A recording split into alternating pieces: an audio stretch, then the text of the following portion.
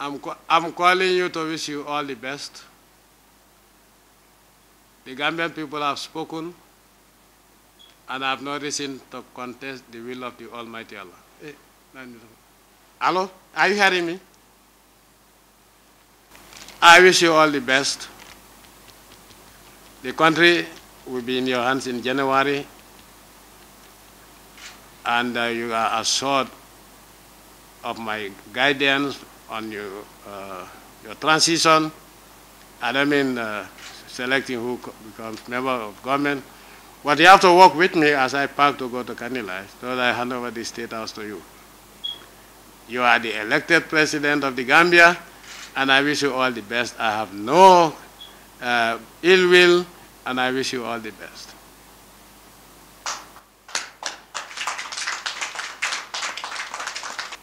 The Gambia is more important than any one of us.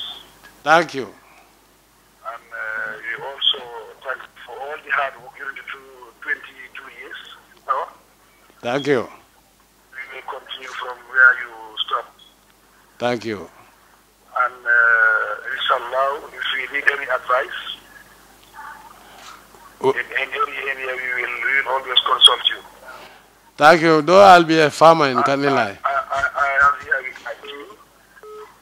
Pardon? I say I'm here with my team.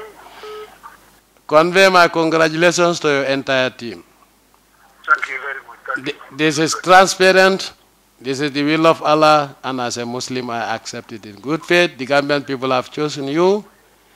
After 22 years, I'm grateful to the Almighty Allah for that. And remember, I came on a, a Friday, 22nd of July, Yes. and if I lost on Friday, the 2nd of December.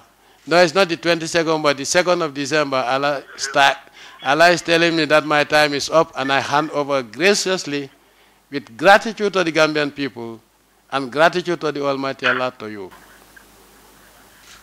Thank, thank you very much. I think these Fridays are, are repeating in the Gambia. Yes. I, I was born on the Friday. What, what, uh, what date? It was 15 February 1965. 1965. 1965, yes. So you were born before independence. Yes. So you are a few months older than me. All the best. Uh, few few months older than you. I'm your brother. Well, I think that's why they didn't call you old pa.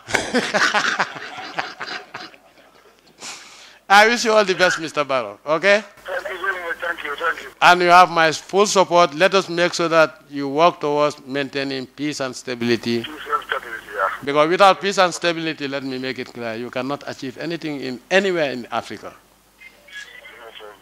I wish you all the best.